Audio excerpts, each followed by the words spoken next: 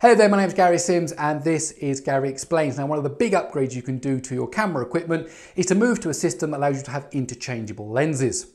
But that can be quite a complicated decision. There are lots of different manufacturers and lots of different systems out there. But one thing that will influence your decision is when you pick the sensor size. Now, when it comes to cameras with interchangeable lenses, there are basically three different types of sensor size. There's micro four thirds, there's APS-C, and there's full frame.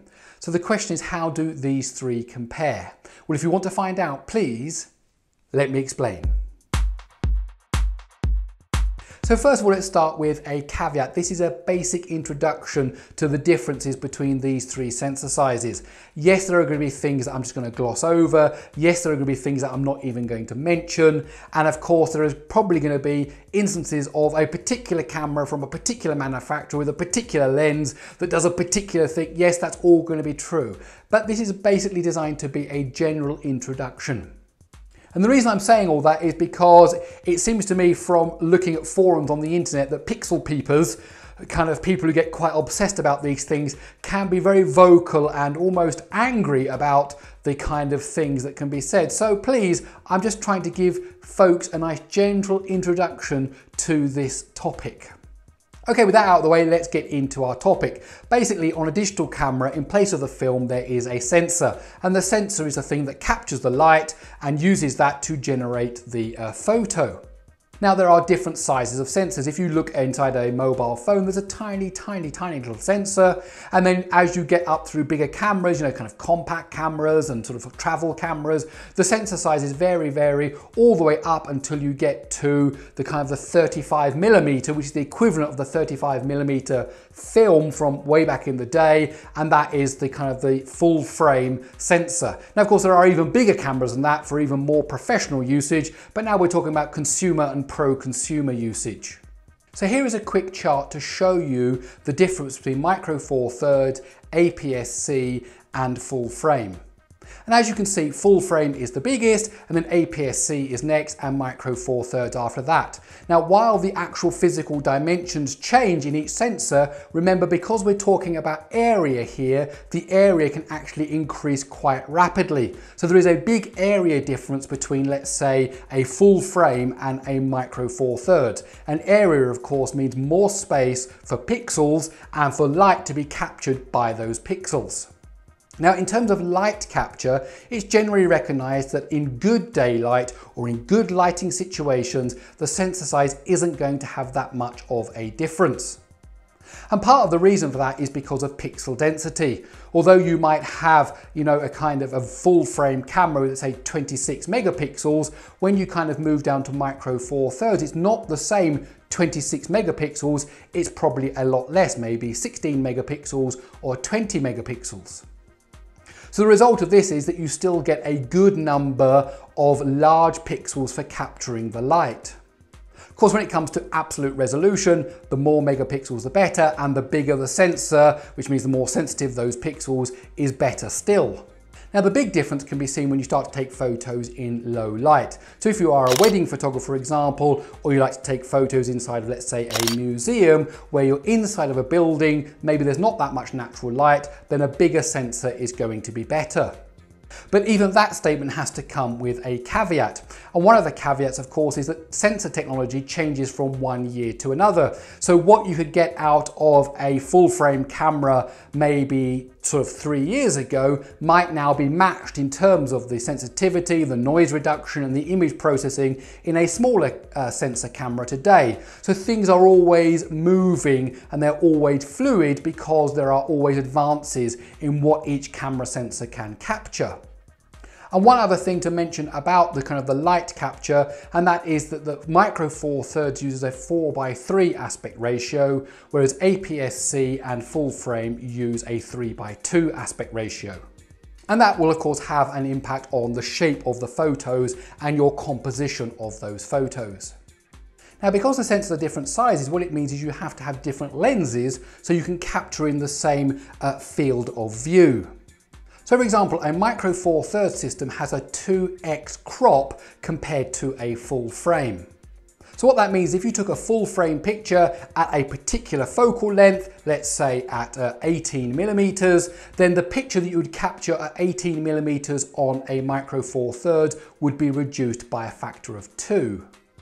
Now to get around this, of course, because people don't just want to take small pictures, we want to be able to take landscapes, we want to be able to take portraits, you get different lenses that attach to different systems. So for example, a kit lens on a typical micro four thirds system might run from let's say 12 millimeters up to 32 millimeters. Whereas the kit lens on a standard full frame system might run from say 24 millimeters up to 70 millimeters. Now because the micro four thirds is a two times crop, actually if you double the uh, focal length, you'll see that they're talking about the same range. So it's 12 millimeters on micro four thirds and 24 millimeters on full frame. Well, 2 times 12 is 24. And at the other end on my uh, Lumix Micro Four Thirds camera that I have, it goes up to 32, which doubled is 64, and the kit lens on a full frame might be 24 to 70. So you can see 64 and 70 are very, very close. So it kind of gives you that same optical range and the same kind of photos from landscapes to portraits can be captured. And APS-C, which kind of sits in the middle, my Canon APS-C camera has a kit lens of 18 to 55. So all the different cameras, regardless of the sensor system, are able to capture everything from you know, kind of uh, landscapes down to uh, portraits and even into uh, macro modes if you need to go there. But a side effect of having these different focal lengths is that it will affect the depth of field. And I've got a whole video on depth of field and bokeh and how that works, and you can find that just up here. But one of the things that affects depth of field is the focal length. So because you are actually changing the lenses, let's say from 12 to 32 or 24 to 70 on a full frame, that will have an impact on the depth of field. And therefore, what they basically say is that on a full frame, it's easier to capture a shallow depth of field with that nice bokeh effect that you get in the background. And that's purely because of the focal length that you can then use with that camera. So we talked about the physical size of the sensor, we've talked about that, the effect that has on the focal range, and we've talked about the effect that the focal uh, length has on depth of field. There's one more thing we need to touch on that is size. Now a full DSLR will be a pretty big camera and the lenses are pretty large. Whereas you compare that to, let's say, a Micro Four Thirds system, the lenses are going to be much smaller. So if you find yourself doing a lot of kind of running and gunning, if you're kind of a travel photographer, then you may find that using a Micro Four Thirds system is better for you. If you don't mind lugging around all the gear then, and you want to be able to capture those low light photos, then you might want to invest in a DSLR system.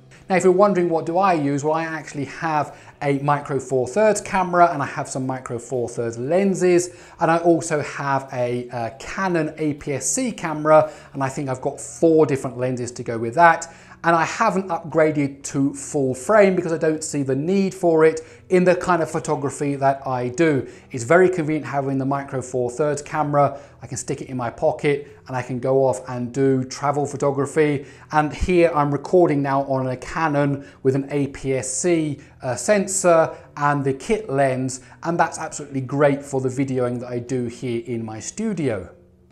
And one quick last note, don't fall into the trap of thinking that if you buy a bigger frame camera, let's say a full frame camera for example, then it's going to make you a better photographer. Photography is about composition and light and capturing the moment and using the tools that you have in terms of shutter speed and in terms of aperture to make a great photo. And you can do that just as well on a Micro Four Thirds or an APS-C system. It's not going to magically happen if you buy a full frame camera.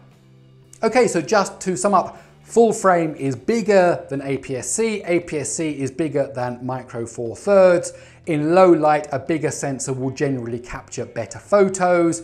Because of the sensor size, you have to have different focal ranges on the lenses, and that is why there are different kit lenses that come with these different cameras. But of course, when you change the focal length, it has an effect of the depth of field. And so therefore it can be easier to capture shallow depth of field with that nice bokeh effect when you're using a full frame camera, or if you're using an APS-C camera compared to a micro four thirds camera. That doesn't mean it's impossible. It's very possible on those other cameras to do it. It's just easier on a full frame camera. And finally, there is the issue of size and weight and price that come into all these different systems. And don't fall into the trap of thinking that if you buy the most expensive camera, you're gonna be the world's best photographer. That just doesn't happen. Okay, my name is Gary Sims and this is Gary Explains. I really hope you enjoyed this video. If you did, please do give it a thumbs up. As I said, I'm not looking for lots of acrimonious moanings in the comments. This is a general overview and I hope it's been useful. I will read the comments and I will reply when it is appropriate. Okay, you know what else I'm to ask you to do? Please subscribe, please share this on social media, and well, that's about it. I'll see you in the next one.